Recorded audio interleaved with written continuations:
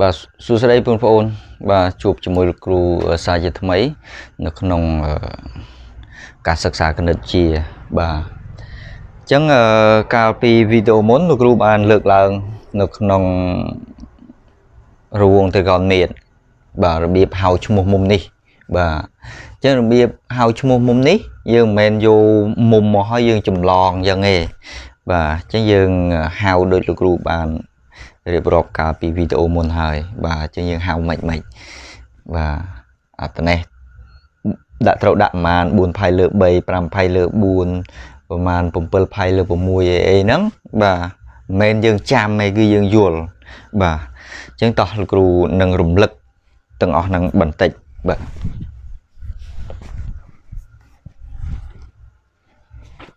ចឹងគ្រូលុបចេញហើយគ្រូ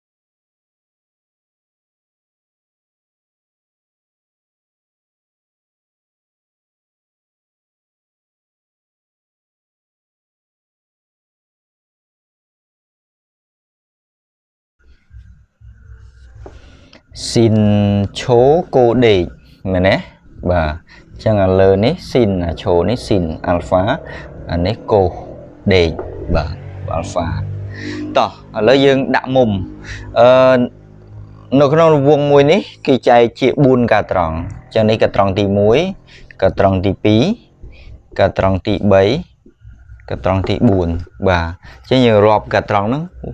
ផ្ទុយពីទិសដៅតនិចនីលកាតនិចនីលកាវិលបែបនេះអញ្ចឹងយើងរាប់មុំយើងរាប់មកចេះវិញបាទអឺកត្រង់ទី1កត្រង់ទី2កត្រង់ទី3កត្រង់ទី4មុំនៅក្នុងកត្រង់ទី1យើងក៏បីចាំអឺចំណុចចាប់ផ្ដើមនេះ0ហើយតនេះគឺផៃលើ2តនេះផៃតនេះគឺ3ផៃលើ2បាទចាំមក4ហ្នឹងសិន0ផៃលើ2ផៃ 3ផៃលើ2ហើយវិលមកដល់នេះវិញគឺ2ផៃណាបាទពុះចំកដាលផៃលើ4បាទផៃលើ4មកក្រោមបន្តិចផៃលើម៉ានផៃលើ6ទៅលើបន្តិចគឺផៃលើ3ចាំអញ្ចឹងណាបាទចំកដាលគឺផៃលើ4មកក្រោមបន្តិចផៃលើ6ទៅលើបន្តិចផៃលើ3បាទផៃលើ3ហើយពុះពាក់កដាលនេះគឺផៃលើ2 ម្ដងនេះផៃ3ផៃលើ2 2ផៃបន្ទាប់មកនៅក្នុងកត្រង់ទី2កត្រង់ទី2នេះរូបមន្តវាគឺផៃដកនេះផៃដកទៅវិញដកអាល់ហ្វាបាទហើយមុំដែលយើងចំណាំតនេះពុះពាក់កដាលដែរណាវាត្រូវនឹងផៃលើ4នេះអញ្ចឹងវាក៏ផៃលើ4ដែរប៉ុន្តែវាមានមេគុណមេគុណវាគឺតូចជាងភាគបែង1ឯកតាអញ្ចឹង4 3 3ផៃលើ4ណាបាទមិនបានអញ្ចឹង បាទការពិតនេះយើងប្រើរូបមន្តនៃផៃដកអាល់ហ្វាមានន័យថាផៃដកអាល់ហ្វាគឺដកប៉ុន្មានដកប៉ុណ្ណឹងដែរដកផៃលើ4បាទអញ្ចឹងយើងគណនា4ណោះ4 4ដក1 3អញ្ចឹងវាមិនបានទូជាភាគបែង1 3ផៃលើ4បាទអមកដល់នេះមកដល់នេះម៉េចធំជាងភាគបែង1អញ្ចឹងវាផៃលើ4ដដែលអញ្ចឹងធំជាងភាគបែង1ហ្មង5មែនទេអញ្ចឹង5ផៃលើ4មុនណាអឺ មិនបានធំជាងភាគបែងគឺផៃបូកនឹងអាល់ហ្វាណាផៃបូកអាល់ហ្វាយើងគឺផៃលើ4អញ្ចឹង4ដង4 4បូក1 5ណាបូកថែម1បាទយកភាគបែងបូកថែម1ចំណែកអានេះគឺ2ផៃដល់អាល់ហ្វាណា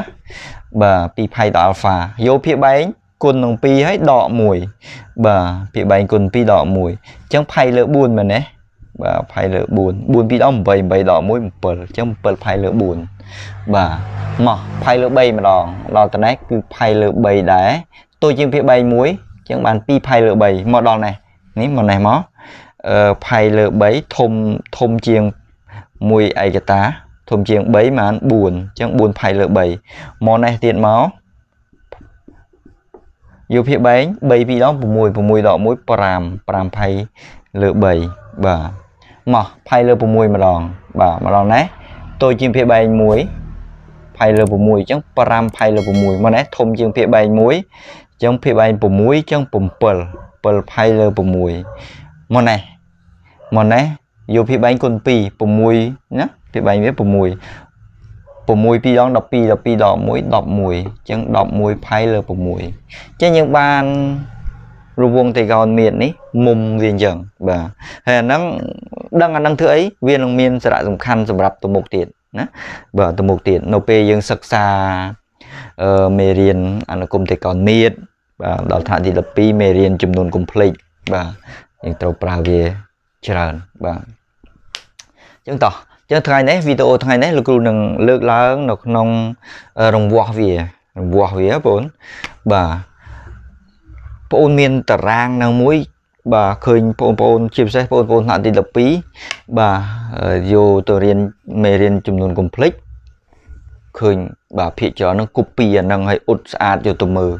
បាទអត់ប្រយោជន៍ទេបាទអឺពេលប្រឡងគេឲ្យយកចូលទេហ្នឹងបាទហើយយូរបាទអញ្ចឹងយើងមានរបៀបចំណាំគិតខ្លីៗបាទ នឹងយើងវឹកហាត់ច្រើនទៅយើងនឹងចាំយើងនឹងយល់បាទយើងមិនចាំទេប៉ុន្តែយើងនឹងយល់យើងអាចរកឃើញបាទរកឃើញយ៉ាងម៉េចតោះអឺជាពិសេសនេះនៅកត្រង់ទី1រឿងដែលយើងត្រូវចាំនេះនេះអានេះអអកុសណាអានេះអស៊ីនហ្នឹងណាបាទអញ្ចឹងរង្វាស់វាស់ពីនេះមកនេះហ្នឹងរង្វង់តេកនមេតគេកំណត់យកកម្មហ្នឹងគឺរង្វាស់មួយឯកតានេះពីនេះមកដល់នេះហ្នឹងគឺមួយឯកតាអញ្ចឹងបើមកនេះមួយឯកតាមកនេះបានគឺដកមួយឯកតាទៅលើមួយឯកតាមកក្រោមដកមួយឯកតាអញ្ចឹងផ្នែកនេះគឺផ្នែកវិជ្ជមានរបស់កុសមកនេះអវិជ្ជមានរបស់កុសនេះវិជ្ជមានរបស់ស៊ីនមកក្រោមនេះអវិជ្ជមានរបស់ស៊ីនបាទនៅកត្រង់ទី1បាទនេះអាល់ហ្វាណាបាទនៅកត្រង់ទី1អញ្ចឹងនេះចង់ដឹងឥឡូវកុសបាទកុស0ស្មើប៉ុន្មានអញ្ចឹងកុស0តម្លៃដើមវា1 ណាវានៅទីតាំងហ្នឹងអត់មានថយអត់មានថែមអីទេបាទអញ្ចឹងកុស0ស្មើ1កុស0ស្មើ1ណាបងប្អូនបាទមកកុសផៃលើ6ម៉ានឥឡូវគ្រូឲ្យចាំគេមានរបៀបគណនាវាប៉ុន្តែឥឡូវគ្រូឲ្យរៀនរបៀបចំណាំហ្នឹងបាទនេះពើនេះពឹមមកចំពាក្យកដាលនេះណាបាទនេះ1លើ2បាទមានន័យថាយើងចង់រកកុសណា កុសផៃលើ3ស្មើ1លើ2ហើយអាផៃលើ4នេះរឹស2លើ2អញ្ចឹងណាហើយអានេះរឹស3លើ2បាទណាហើយនេះ1បាទហើយនេះម៉ាននេះបាទកុសផៃលើ2មកម៉ាន0បាទ0អញ្ចឹង0 1លើ2ឬ2លើ2ឬ3លើ2ចាំអញ្ចឹងហើយ1បាទ មានរបៀបចំណាំមួយទៀតគេបាទរៀនចំណាំបាទ0ដំបូងគេដាក់លេខ0លេខ1លេខ2លេខ3លេខ4ណាមានមានមានក្រិតជា5កលៈ0 1 2 3 4ណា0 1 2 3 4អញ្ចឹងរឿងដែលយើងត្រូវចាំលេខត្រូវចាំគឺ0 1 2 3 4រាប់ពី0ដល់4នោះបាទតោះមកគេដើរដាក់រឹសបាទ ដាក់រឹសណាដាក់រឹសទាំងអស់ដល់មកគេចែកនឹង2ចែកនឹង2ចែកនឹង2ចែកនឹង2ចែកនឹង2អញ្ចឹងរឹស0ហ្មង0 0ចែក2 0បាទខ្លាចបងអត់ចាំអាលេខហ្នឹងណាបាទបងធ្វើអញ្ចឹងហើយដេញពីក្នុងទៅ0រឹស1ហ្មង1អញ្ចឹងយើងបាន1លើ2នេះបាទអូអានេះរឹស2លើ2វាដដែលអឺរឹស3លើ2ដដែលបាទរឹស4ហ្មង2 2ចែក2 1បាទអញ្ចឹងយើងបានតម្លៃនេះ 0 1លើ2ឬ2លើ2ឬ3លើ2 1ហ្នឹងណាបាទហើយវាដេញតាមលំដាប់ហ្នឹងបាទផៃលើ2ឬ3អផៃលើ3ផៃលើ4ផៃលើ6អាហ្នឹងកាលពីវីដេអូមុនបាទអញ្ចឹងយើងបានកុស0 1ណានេះកុស0 1កុសផៃលើ6ឬ3លើ2អាវែងជាងគេណាបាទបន្ទាប់ពី1មកគឺឬ3លើ2កោសផៃលើ4ឬ2លើ2 កោសផៃលើ3 1លើ2ណាកោសផៃលើកោសផៃលើ3នេះ1លើ2កោសផៃលើ2 0អញ្ចឹងបងប្អូនបាទយើងយល់ទេនឹងកោសបាទឥឡូវគិតកត្រង់ទី1សិនកត្រង់ផ្សេងផ្សេងទៀតកុំទិនគិតបាទអញ្ចឹងចាំបានហើយនេះកោស01កោសផៃលើ6ឬ3លើ2កោសផៃលើ4ឬ2លើ2កោសផៃលើ3 1លើ2គោះផៃលើ2 0បាទហ្នឹងគោះ អស់ស៊ីនម្ដងស៊ីននេះអឈោស៊ីនឈោណាឥឡូវមកនេះបាទនេះនេះដេញពីនេះបាទនេះតនេះនេះតនេះតម្លៃវាដូចនេះដែរអញ្ចឹងដេញពី0មក0រួចហើយនេះម៉ានបាទនេះ1លើ2អបន្ទាប់មកនេះម៉ានណា0 1 2អាលើបាទអញ្ចឹង1លើ2ឬ2លើ2អានេះឬ3លើ2 បាទហើយ1នេះខាងលើនេះ1អញ្ចឹងមានន័យថាយើងយកមើលបកម្នេះបើពូស៊ីនវាអឈុនណាអឺស៊ីន0ស៊ីន0 0ញ៉េស៊ីនផៃលើ6 1លើ2ស៊ីនផៃលើ4ឬ2លើ2ស៊ីនផៃលើ3ណាស៊ីនផៃលើ3ឬ3លើ2ស៊ីនផៃលើ2 1តើនេះបងបាទសាដើមស៊ីន0 0ស៊ីនផៃលើ6 1លើ2ស៊ីនផៃលើ4ឬ2លើ2ស៊ីនផៃលើ3ឬ3លើ2ស៊ីនផៃលើ2 1ហឹមមិនហើយបងបាទតើណាបាទមកឥឡូវកោសម្ដងកោ0 1កោសផៃលើ6ឬ3លើ2កោសផៃលើ4ឬ2លើ2កោសផៃលើ3 1លើ2កោសផៃលើ2 0ស៊ីនម្ដង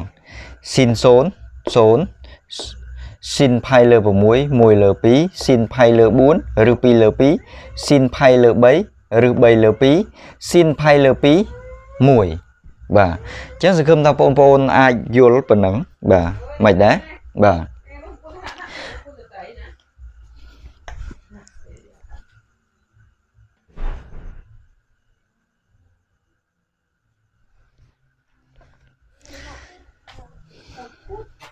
ចឹងយល់បានហើយបងប្អូនបាទចឹងយើងហៅមុំប៉ុណ្ណឹងបាទចឹងតោះម្ដងទៀតកូ0នេះនេះ0កូ0បានកូ0 1បាទនៅហ្នឹងបាទអត់បាក់តណាទេព្រោះវានៅនឹងអាក់ដេកហ្នឹងអាក់កូសស្រេចហើយកូសផៃលើ6ឬ3លើ2កូសផៃលើ4ឬ2លើ2កូសផៃលើ3 1លើ2កូសផៃលើ2 0បាទស៊ីនម្ដងស៊ីន0 0 ស៊ីនផៃលើ6 1លើ2ស៊ីនផៃលើ4ឬ2លើ2ស៊ីនផៃលើ3ឬ3លើ2ស៊ីនផៃលើ2ម៉ានបាទ1បាទមិនដែរបាទតោះឥឡូវអឺលោកគ្រូអឺ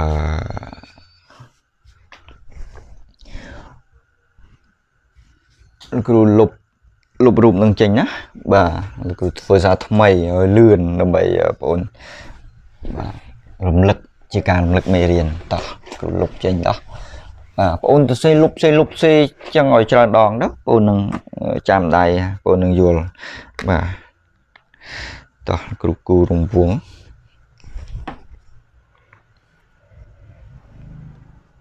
គូទូជាងមុនតិចហ៎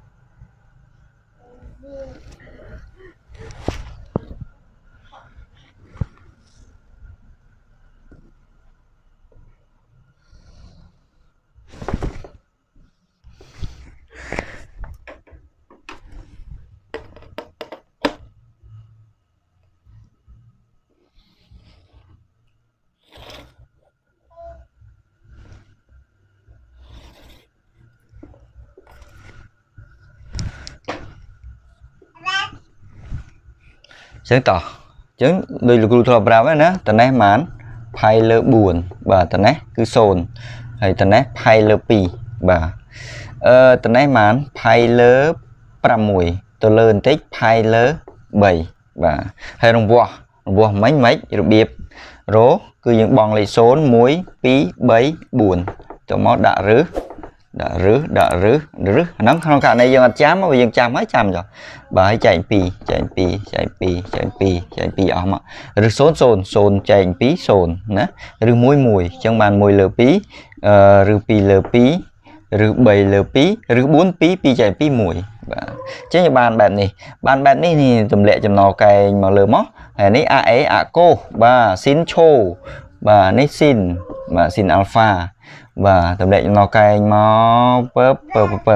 ចេញបានមិន0ហើយអានេះគឺ1លើ2ឬ2លើ2ឬ3លើ2 1បាទចាំប៉ុណ្ណឹងមកបាទហើយដល់ពេលយើងអនុវត្តជាក់ស្ដែងយើងមិនបាច់គូទាំងអស់ទេគូតាណាដែលចាំបាច់បាទចេះមើលជំហានបន្តរបស់លោកគ្រូបាទឥឡូវចឹងយើងបានចឹងហើយនេះដូចគ្នាយើងដាក់ចំណកែងមកលើអាស៊ីនមកយើងនឹងឃើញតម្លៃស៊ីនមុំហ្នឹងណាបាទអញ្ចឹងមិន0 1លើ2ឬ2លើ2ឬ3លើ2 1បាទខាងលើគេនឹង1អញ្ចឹងតោះយើងចាប់ផ្ដើមកោសកោសមុនបាទកោស0បាន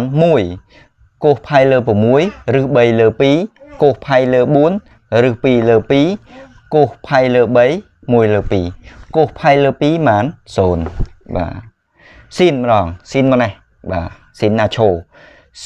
ស៊ីន0 0 ស៊ីនផៃលើ6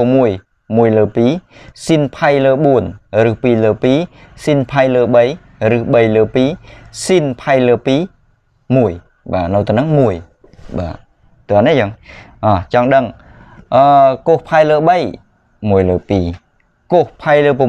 ឬ3លើ2ណាអស៊ីនផៃលើ4 ឬ2លើ2បងប្អូនសង្កេតណាផៃផៃលើ4ហ្នឹងស៊ីនក៏ស្មើឬ2លើ2កោសក៏ឬ2លើ2ដែរបាទស្រួលជាងគេហ្នឹងបាទ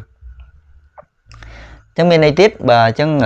វីដេអូថ្ងៃនេះលោកគ្រូចង់បង្ហាញប៉ុណ្ណឹងបាទហើយនៅកតម្លៃនៅកត្រង់ទី2ទី3ទី4អីចាំមើលវីដេអូបន្តបន្តទៀតបាទលោកគ្រូនឹងបង្ហាញបាទ ចឹងអរគុណបងប្អូនបាទសម្រាប់ការតាមដាននៅវីដេអូនេះបាទចឹងសង្ឃឹមថាបងប្អូនបាទនឹងយល់បាទហើយនឹងជាជំនួយដល់ការសិក្សារបស់បងប្អូនបាទអញ្ចឹងអរគុណបាទ